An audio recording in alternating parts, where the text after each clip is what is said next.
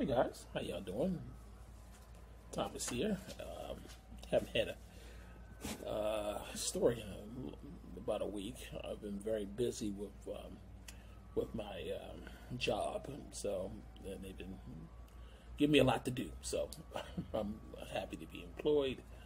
So um, uh, this one, this um, is uh, a time that I wanted to at least uh, put this video out.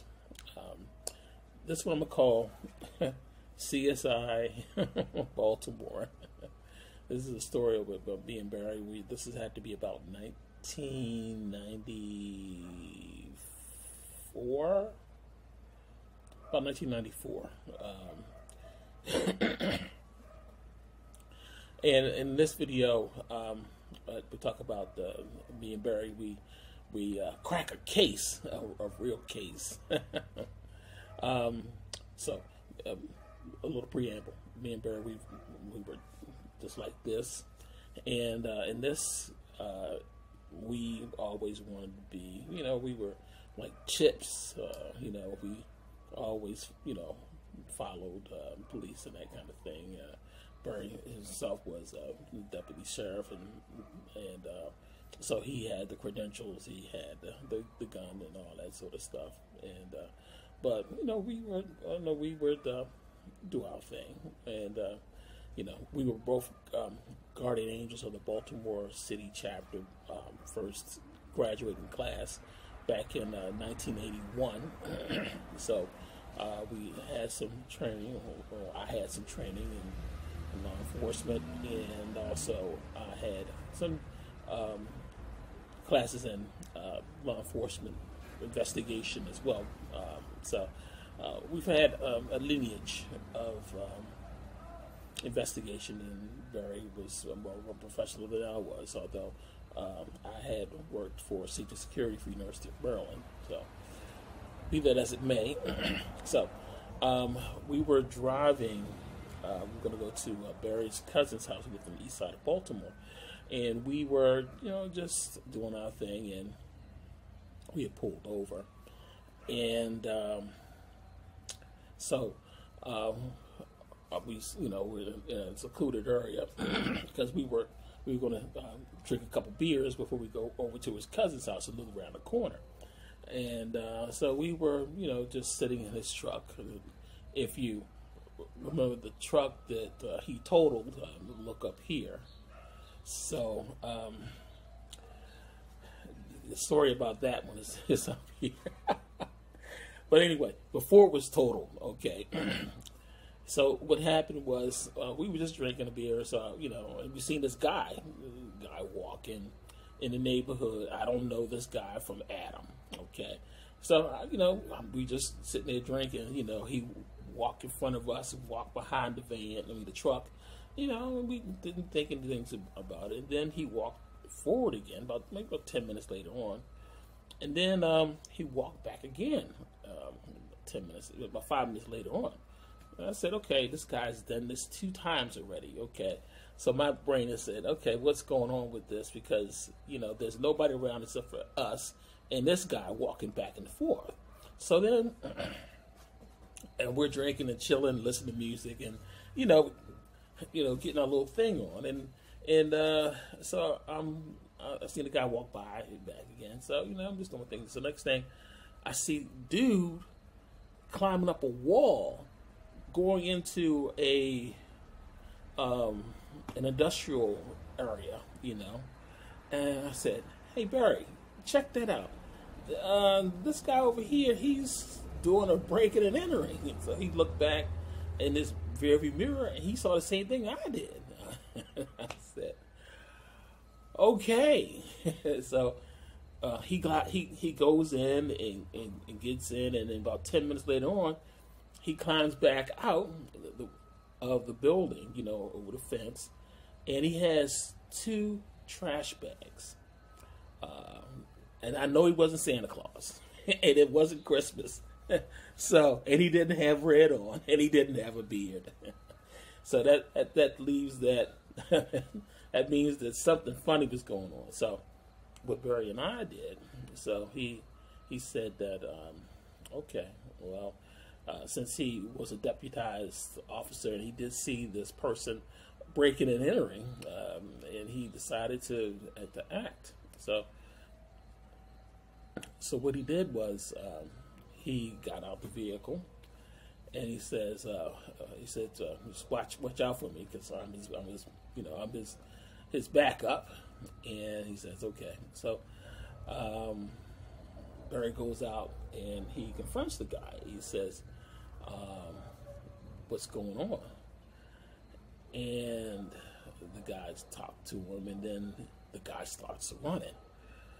And then Barry pursues the guy, okay?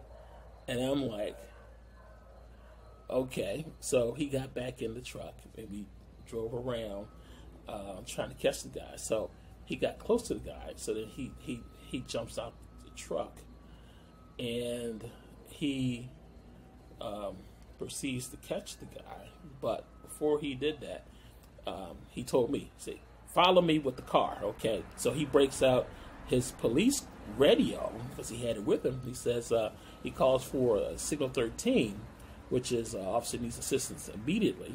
This is a Sunday afternoon, so um, he calls for signal 13 uh, on this particular street that we chase the guy to. So he called the signal 13, and uh, Barry tackles the guy. Yes, he does. He tackles him, and then I'm, I'm, you know, I'm following him, and as he runs up, because I've never, he has a stick. I had never driven a stick before. Okay, his truck. He showed me how to drive a stick, but I finally learned how to drive a stick. So, so he he follows the guy, and I and I'm following him, following the other guy. So then Barry tackles the guy, and he brings him down and then I'm hearing all these sirens all over the place. I'm back. I'm, I'm back at Barry. Uh, I'm, you know, and you know, uh, because I I'm not deputizing him like that. You know, I kind of just you know just watch his back because um, he's in a vulnerable situation, and, and, you know, and when we in the Guardian Angels, uh, we were taught how to protect the scene. Um, so. Um, to make sure that nobody comes into the scene. Only our lieutenant would go in to make the arrest. So I had to be his backup.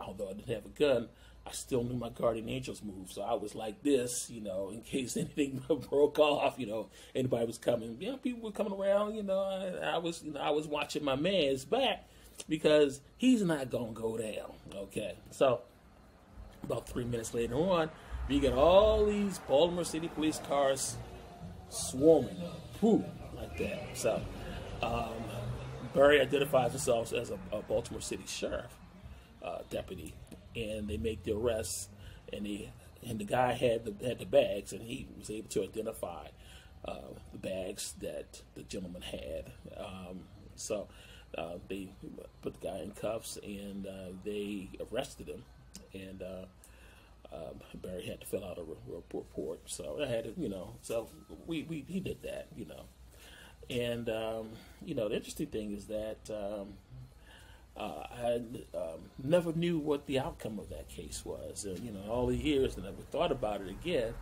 Um, but uh, I don't know what happened with that guy, whether he got probation or what. I, you know, I, it kind of slipped our minds, you know, because we were we had the adrenaline rush going on.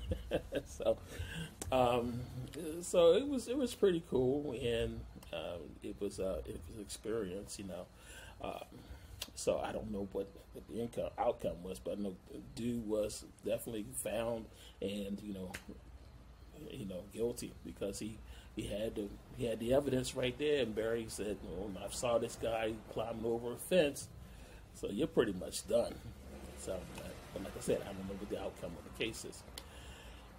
So um, later on, uh, Barry said, "You know, we because uh, we're you know we're I mean we're we're you know." We're, we're, we're, like Starsky and Hutch together. He said, you know, he said, okay, Barry, one, he said, uh, okay, TJ, one time what we're going to do when I go on patrol, you know, and we go down, I want you to come with me uh, to you know scene. You know, you can you can be with me as I'm you know uh, just be an observer. And I said, okay, man, that sounds cool. That never happened. It never happened. That was the only time where we actually, when he was in his police capacity or in his law enforcement capacity, he we, we worked together um, for a uh, for a, um, a real event. You know, it was cool. You know, it was, you know, we we he knew I knew what he was doing, and he knew what I was going to do because he knew that I had his back no matter what. So we, we kind of worked like Starsky and Hutch because we've been watching Starsky and Hutch, watching Chips and all the other So so we we knew ex- exactly what the play was. It's just that we've been practicing this for a number of years, so we were actually had a chance to actually to do our thing in a real life basis, and uh, it was really exhilarating, and we uh, we had a good time, um, and it was um, it was good. I, I really did, and I, I, think nobody knew about this um, this event that we did. Um, I think we, you know, nobody knew about this. Uh, I didn't talk to my mother, I didn't tell my father about that. I didn't tell my wife about it either. Well, she probably find out now, but but um, that was what we did um, together as uh, one of our things is uh, you know because we, we like to be in um, law enforcement type of thing and we, we had a chance to actually do that together um, you know so that was the story um, you know, when we got a chance to go to uh, LA and see the chips walking, riding around, and that kind of thing. So we got a chance to, you know, to relive our our youth. but um, but we, we, we, we did that, and so anyway, that was that story. So I, you know, it is what it is. So it was a good memory. So, but I wanted to recall that memory because uh, I don't think I ever talked about that. So anyway, this shirt right here I'm wearing, um, this is from a uh, a trip that me and Barry had. Uh, our first, our second time going down to Fort Lauderdale, we went to a, an Irish uh, pub, and uh, we uh, got some some drinks there. And I'm wearing this shirt, and this is from Fort Lauderdale. Um, they're not a sponsor. I'm just this is a, one of the shirts that we got together. He got a shirt, I got a shirt. Uh, he can't wear his, I can wear mine now. So anyway, um, that's what I'm going to say. So you guys have a good week, and uh, um, just enjoy what you're doing, and uh, you guys stay safe. Um, starting the weather's starting to change, so you guys have a safe day, and uh, I'll talk to you guys later. Um, you know, um, watch up here for the the truck uh, total video. it should be up here. If not, just search on my channel. Um, that will tell you the story of how the uh, the truck that I was driving, how it got totaled. Um, so, anyway, you guys have a good day. Take care. Bye bye.